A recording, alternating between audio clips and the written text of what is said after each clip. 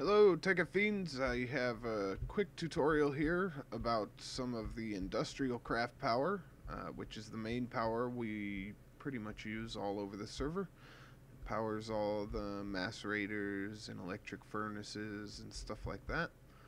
Uh, I set this up here on the tutorial uh, world, I guess you could call it.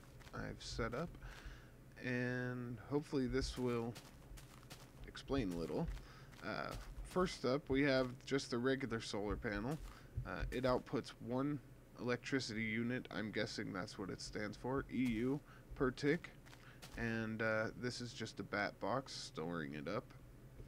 And I always use the glass fiber cable because why use anything else?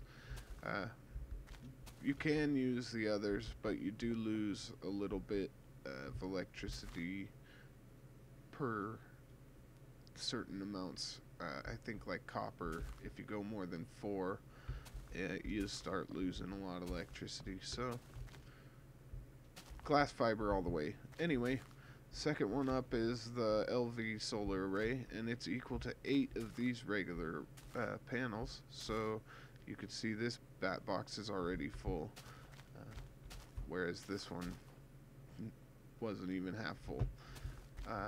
Then we go on to the medium voltage solar array. You can see that battery's all the way completely full. This is equal to 8 of these, so 64 EU per tick. And of course, if you're going to hook it to macerators and stuff like that without transformer upgrades, you're going to need a transformer. That's what that is sitting there. The LV transformer drops the voltage from 128 EU per tick to 32 EU per tick. So, then next we have the high voltage solar array. It's equal to 8 of these medium volts, so 512 EU per tick. And the MFSU battery, uh, super battery, huge, 10 million uh, EU it can hold. And it outputs 512 EU per tick, so to hook it to regular macerators and stuff like that, you need an MV and an LV transformer. So you want to drop it first from 512 to 128 and then drop it from 128 to 32. Hook it to your machines and they'll be powered for a long time with 10 million EU. Uh, it's time to start getting some overclockers and stuff like that at that point for sure. And over here I just set this up because people have been asking me what these solar panels are for. Well, this is a basic, a really basic setup for Blutricity.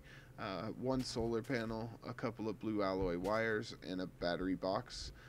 And these power things like the sorting machine and frame motors and uh, just other little things, uh, mag tubes, accelerators, all that.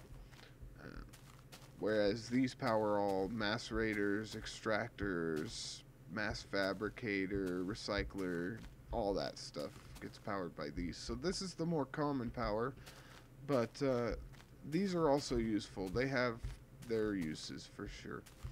Anyway, so the way these are set up, uh, they're all ready to hook to basic machines. Thanks for checking it out.